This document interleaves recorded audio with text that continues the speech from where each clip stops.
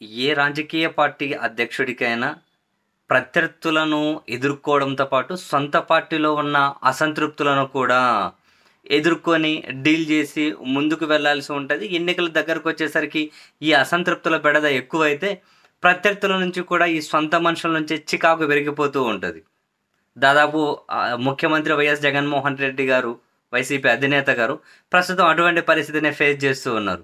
తాను బాగా ఎవరైతే నమ్మకంగా ఉంటారనుకుంటున్నారో వాళ్ళ దగ్గర నుంచి చికాకులు అయితే తప్పడం లేదు.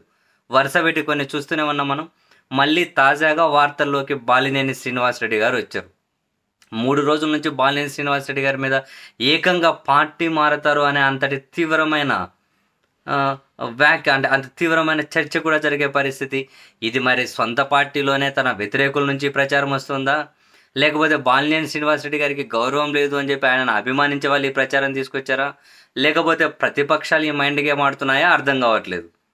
అండ్ ఈరోజు ముఖ్యమంత్రి జగన్మోహన్ రెడ్డి గారు బాలినేని శ్రీనివాసరెడ్డి గారిని పిలిపించి నలభై నిమిషాల సేపు పైగానే మాట్లాడారు. ఏం మాట్లాడారో ఫైనల్గా ఏం తెలియదు ప్రస్తుతం ఏమీ తెలియదు కానీ అండ్ బాలినేని శ్రీనివాసరెడ్డి గారు అయితే ముఖ్యమంత్రి గారితో భేటీ ముగించుకొని నేరుగా ఎయిర్పోర్ట్కి వెళ్ళారు. Most probably Hyderabad వెళ్తారేమో.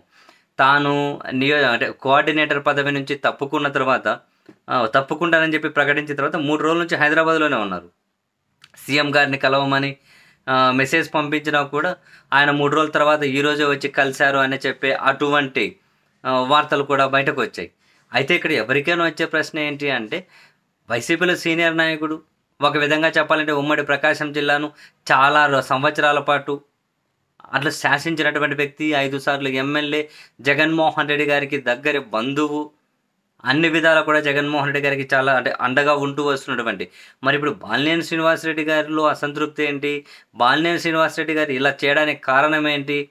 అని అంటే ఇప్పుడు బాలినేని శ్రీనివాసరెడ్డి గారి ఈ ఓవరాల్ బాధకు కారణం ఏంటి అని అంటే అది భయం నుంచి వస్తుందా?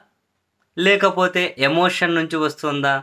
అన్న ప్రశ్నకైతే సమాధానం కావాలేమో భయం నుంచి ఎందుకు? మంత్రివర్గ పునర్వ్యవస్థీకరణలో తనకు మంత్రి పదవి తీసేసి సొంత జిల్లాలోనే ఆదిమూలపు సురేష్ గారికి కంటిన్యూ చేసిన తర్వాత బాలినేని శ్రీనివాసరెడ్డి గారు తీవ్ర అసంతృప్తికి గురయ్యారు. అప్పుడు కూడా అలిగారు. అప్పుడు కూడా బాధపడ్డారు. చివరికి మళ్ళీ అందరూ వచ్చి పిలుచుకెళ్ళి సీఎం గారి దగ్గరికి పిలుచుకెళ్ళి ఏదో మాట్లాడించారు. అప్పటి నుంచి బేసిక్గా వివాదాలకు చాలా దూరంగా ఉంటారు బాలినేని గారు అంటూ ఉంటారు. అప్పటి నుంచి ఏదో ఒక సంఘటన జరుగుతూనే ఉంది. అంతకుముందు వీళ్ళ అనుచరులు వెళ్ళి ఇంకెవరినో వీళ్ళ మరో అనుచరుని కొట్టడం దగ్గర నుంచి మళ్ళీ ఏదో ఒక అభిమానులు బయటకు వెళ్తూ ఉన్నారు. ఆ ఫోటో బయటకు రావడం దగ్గర నుంచి మధ్యలో ఆ జనసేన పిల్లలు ఏందో అదొక డిస్టర్బెన్స్ కావచ్చు. ఈ ఈ- ఈ మధ్య ఆయన నియోజక రీజనల్ కోఆర్డినేట్గా ఉన్న చోట చాలామంది ఎమ్మెల్యేలు ఈయన వర్గ రాజకీయాలను ప్రోత్సహిస్తున్నారని చెప్పి వాళ్ళు సీఎం గారికి ఫిర్యాదు చేశారని చెప్పి ఇవన్నీ ఒకటి.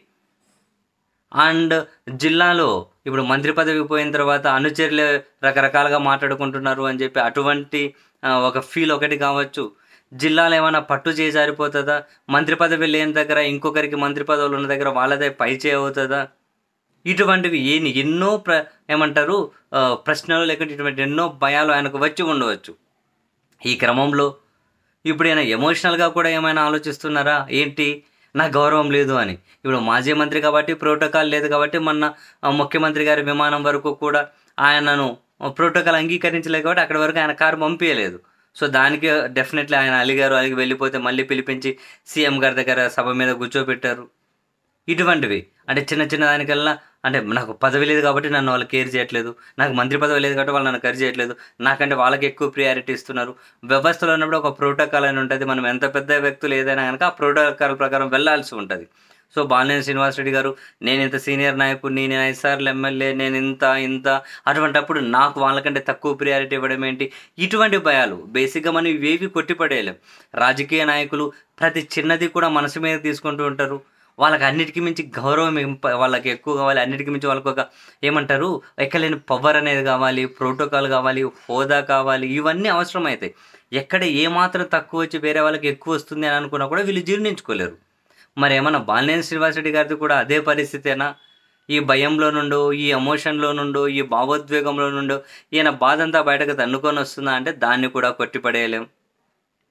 అండ్ ఆయన వాళ్ళ అనుచరులు దీన్ని ఎట్లా కవర్ చేసుకుంటారు? వాళ్ళు చెప్పేది ఏంటి వాళ్ళ వర్షను నియోజకవర్గానికి పరిమితం అవుదాం అనుకుంటున్నారు. ఎన్నికలు వస్తున్నాయి కాబట్టి దాని మీద దృష్టి పెడదాం అనుకుంటున్నారు. ఇదంతా కూడా పరిగణలోకి తీసుకున్న వాదన కూడా కాదు. ఎందుకంటే చాలా మంది రీజనల్ కోఆర్డినేటర్లు వేరే వారి దగ్గర పనిచేస్తున్నారు కదా. పార్టీలో ఒకసారి రాష్ట్ర స్థాయిలో కనుక బాధ్యతలు నిర్వ నిర్వర్తించాల్సి ఉంటుంది. అండ్ ఇక్కడ ఇంకొకటి కూడా ఉంది. తన సొంత బంధువు సమ దగ్గరి బంధువే వైవి సుబ్బారెడ్డి గారితో ఈయనకు విభేదాలు ఉన్నాయి అని మనస్పర్ధలు ఉన్నాయని ఒంగోలు ఎంపీ మాగుండి శ్రీనివాసరెడ్డి గారితో కూడా మనస్పర్ధలు ఉన్నాయని ఈ చర్చ కూడా జిల్లాలో సాగుతూ ఉంది. ఏది ఏమైనా బాలినేని శ్రీనివాసరెడ్డి గారి ఎపిసోడ్ అయితే ఇప్పుడు మళ్ళీ రాజకీయాల్లో ఆయన చుట్టూ ఆయన కేంద్రంగా రాజకీయాలు అయితే చర్చ జరుగుతూ ఉంది. అండ్ మరి ఆయన జే సీఎం గారితో చర్చల తర్వాత మెత్తబడతారా లేకపోతే అట్లయినా కొనసాగుతుందా? సీఎం ఈయనకి ఏం చెప్పారు? ఈయన సీఎంకి ఏం చెప్పారు? ఇవన్నీ విషయాలు అయితే చూడాలి. ఏకంగా కూడా పార్టీ మారతారనే ప్రచారం వరకు రావడం దీని వెనకలు ఎవరున్నారు? బాలినేని మనుషులు ఉన్నారా? ఆ పార్టీలో వ్యతిరేక వర్గం ఉన్నారా? లేకుంటే ప్రతిపక్షాల మైండ్ గేమా? వీటన్నింటినీ అత్యంత సీనియర్ నాయకుడు ఈయన సమర్థవంతంగా డీల్ చేసుకొని ముందుకెళ్ళి సీఎం గారు ఈసారి ఎన్నికలను చాలా ప్రతిష్టాత్మకంగా తీసుకొని అధికారం నిలుపుకోవడం కోసం సీఎం గారు ఆ స్థాయిలో కష్టపడుతూ ఉన్నప్పుడు వీళ్ళందరూ కూడా ఆయనకు మద్దతు ఇవ్వాల్సిన అవసరం అయితే ఉంటుంది. మరి వీటన్ని చక్కబెట్టుకొని ముందుకెళ్తారా? లేకపోతే ఈ విభేదాలు మరింత పెంచి రచ్చేమన్నా చేసుకుంటారా అన్న విషయం అయితే చూద్దాం.